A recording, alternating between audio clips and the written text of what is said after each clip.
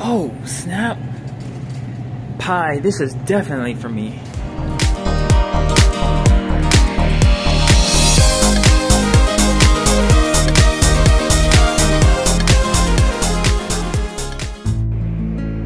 Good morning. It's Mother's Day. It's almost time for you to come out. It's almost time to meet you.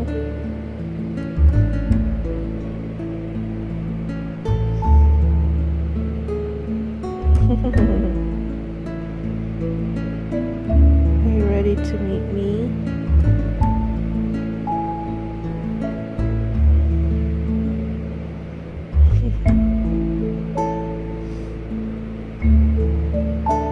Is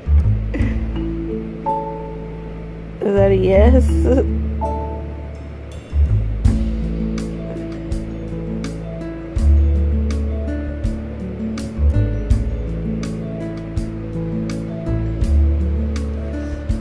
Whoa.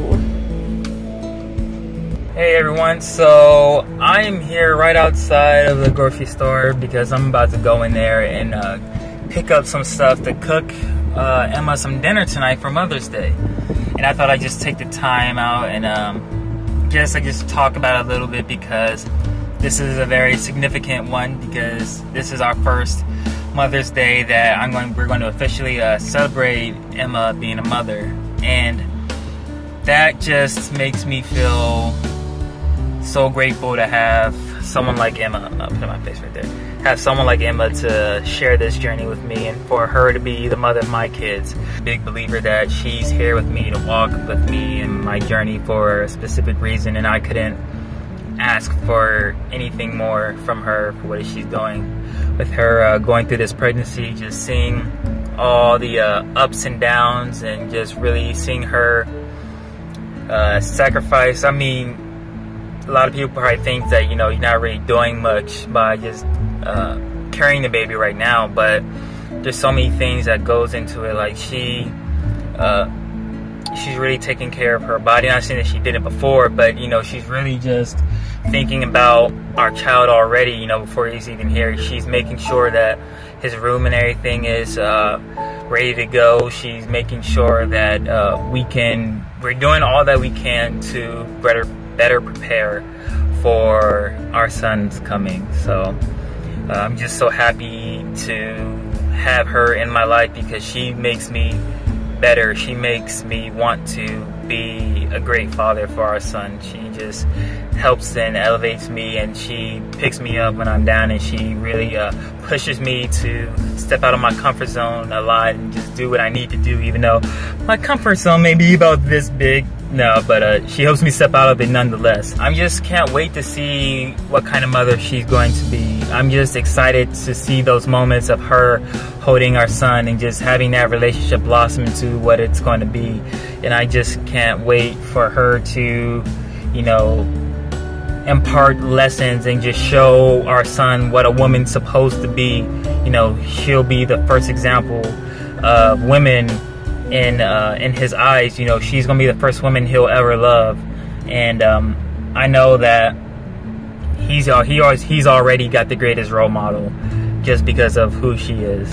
So I'm really excited for these years to come, decades to come, and I just know that uh, with, each, with each and every year that Mother's Day is to be even more special and even more, uh, you know, just just more of a celebration for all that she's done and all that she wants to do for our kid. I was about to say kids, but kid for right now. We're not planning on any more for a while, but I'm just really, I'm just really happy. I just, um, you know, I'm really happy. There's, I'm in the best point of my life right now, and I'm sharing it with the only person I would ever want to. So Emma, and to my mom, and to all you mothers out there, happy Mother's Day, and just know that from me now about to be expecting father that I just appreciate all the things that you all do even more now. Just it just all coming into perspective for me. I think that's all I got for now. So happy Mother's Day again. I will give this rose from me to all y'all mothers out there who may not receive one this year but know that you're appreciated and you're loved keep doing what you do because like I said without you who knows where we'd be in this doggy dog world. Good afternoon everyone. I just got out of the shower. This is my no makeup shower face. just wanted to say happy Mother's Day to everyone. Uh, it is Mother's Day like I had said earlier. Um, when the baby was moving around this morning telling me happy Mother's Day I guess with his little kicks. It was so cute. Um, Josh just went to go get saran wrap because uh, we're going to do the belly casting today. That, that's the plan anyway. Yeah, I've just been really tired today or just not like tired, like sleepy. I guess just like my body's tired and I just know things are getting closer and, you know, preparing for this birth experience. I can just feel it. Things are moving. Yeah, today's Mother's Day and if you have uh, watched us since last year, uh, we did do a Mother's Day video, so you know it's kind of a it's kind of an interesting day for me. It's sort of a bittersweet day because I the relationship I have with my mom is not the best and I made a video last year talking about it. I wrote a poem and um, if you want to watch that I, I can link it down below.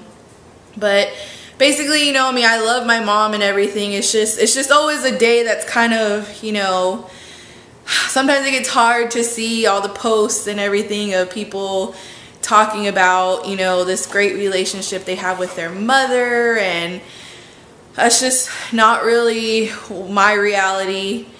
Um, and without getting too much into it or crying, because I will start crying, um, it's just, especially today, I guess now that I'm pregnant, like it's just such a, it's a, it's a lot of emotions, I guess. It's just a lot of emotions and, you know, I think about my mom and that she had to go through what I'm going through right now with me, or yeah, with me in her stomach and, you know, it makes me cry when I think about it because it's like,